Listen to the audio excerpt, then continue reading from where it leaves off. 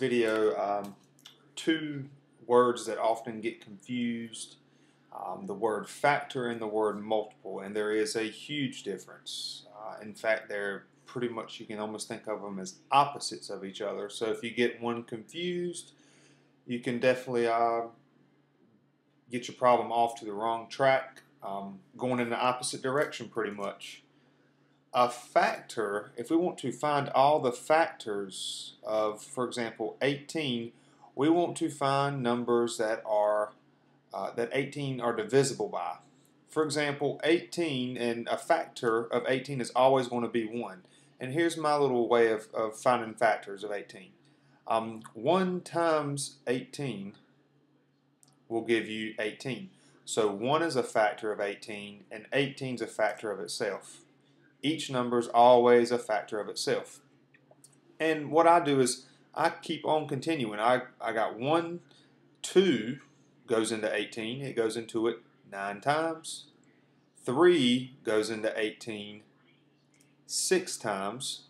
And now, if you think about, okay, 1, 2, 3, the next number would be 4. 4 is not a factor of 18 because 18 is not divisible by 4.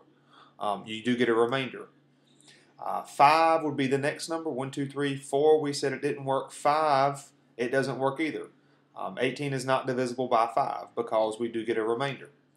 Now there's no need to go on anymore because we said 1, 2, 3, 4 didn't work, 5 didn't work, and then your next number would be 6. But notice that 6 is over here. And if you keep this in order, whenever you get over here to the next number, there's no need to check anymore. So our factors of 18, let's list them in order. I don't want to put it equals there. But the factors would be 1, 2, 3, 6, 9, 18.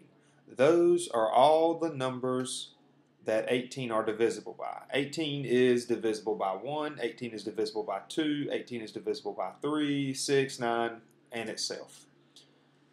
So let's continue on.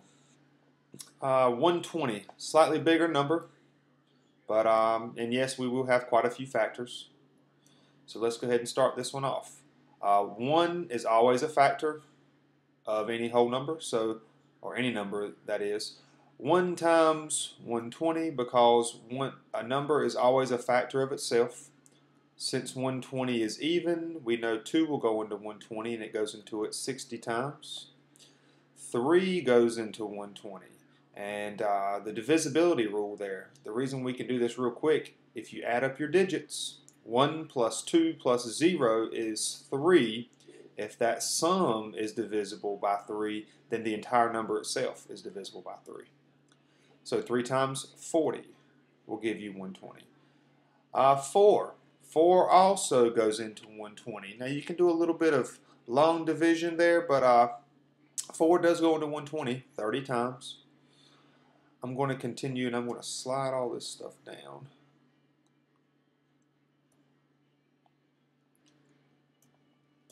the divisibility rule for 5, because 5 also goes into 120. You can do a little bit of long division there. But uh, the divisibility rule is if that number ends in a 0 or a 5, it's divisible by 5. But 5 does go into 120 24 times. 6 would be our next number. 6 also goes into 120, and the divisibility rule for 6 is simply if this number is divisible by 2, and if this number is divisible by 3, which we've already said both of these conditions work, then the number is divisible by 6, and 6 goes into 120 20 times. 7 will not work. You can do a little bit of long division. You will get a remainder. What about 8? 8 does work. 8 times 15 will give you 120. Slide down a little bit more. If you test 9, you'll get a remainder, but 10 will work. 10 times 12 will give you 120. And the next number would be 11, but 11 will not go into 120, but we will have it will have a remainder, so it's not a factor. And then our next number would be 12. Notice that 12 is already used. So then we can just list all these. There's no need to continue after 11 because 12 shows up here and these are all your other factors. So all these numbers we have here are factors of 120 because 120 is divisible by all of these numbers we have here. So we'd list our answer like this, from smallest to biggest, and plus notice it does keep it in order.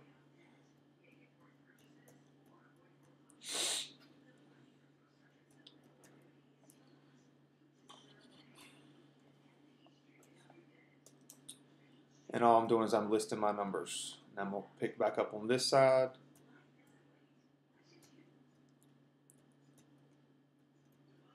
It's a lot of them.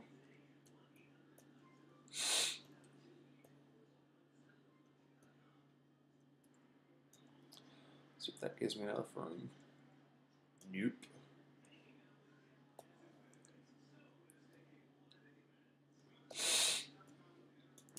30, 40, 60, and 120.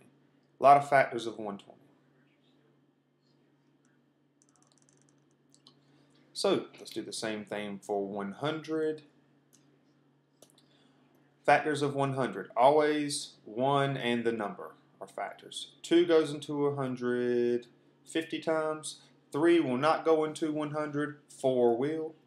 4 goes into 125 times. 5 goes into 120 times. 6 will not go into 100 without a remainder. And then also notice the divisibility rule for 6. Since this number was not divisible by 2 and 3, then it's definitely not divisible by 6.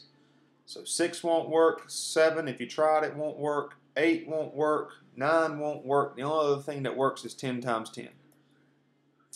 So it's a good thing to note here. You don't want to list down the factor twice, even though it does show up twice. Um, don't want to do that.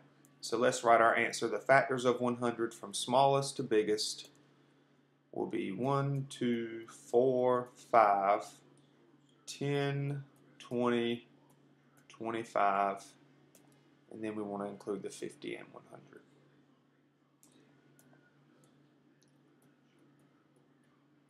So these are factors of 100. Now, a multiple. Don't get these confused. A factor of a number, a factor of 18. Notice that all these numbers that are factors are either the number 18 itself or numbers that are smaller because all of these numbers will go into 18. Same thing for 120. All our factors of 120 are less than or equal to 120 because our biggest factor of 120 is the number itself. All these other numbers are smaller. That's because 120 is divisible by all of these numbers. Same thing for 100. But now a multiple, a multiple means multiply. So if we want to find the first five multiples of 4, just do your multiplication tables. We want the first 4. Well, 4 is a multiple of 4. Then we have 8, 12, 16, 20. All you're doing is multiplying. These are not factors of 4. These are multiples of 4. 4 times 1 is 4, 4 times 2 is 8, 4 times 3 is 12, 4 times 4 is 16, 4 times 5 is 20. That's what we're doing for all of these examples. So the first five multiples of 50 will be 50, 100, 150, 200, then we have 250. Those are the first five multiples of 50. These numbers here are not factors of 50. For example, 250 will not go into 50. However, 50 will go into 250. So make sure you don't get that multiple and that factor mixed up. And then our last one, the first five multiples of 12, just a good time to practice your times tables. 12, 24, 36, 48, and 60. Those are your first five multiples of 12. These are not factors of 12. So again, just to emphasize the difference between a factor, which we did here, and a multiple down here. But that's it. Hope it helped.